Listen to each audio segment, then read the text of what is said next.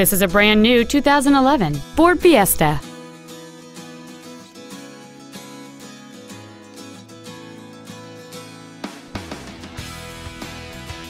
Its top features include heater vents for rear seat passengers, a rear window defroster, four well-positioned speakers, an engine immobilizer theft deterrent system, privacy glass, traction control and stability control systems, halogen headlights, an anti-lock braking system, front multi-stage airbags, and a trip computer.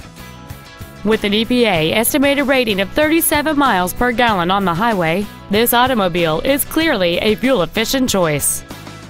We invite you to contact us today to learn more about this vehicle.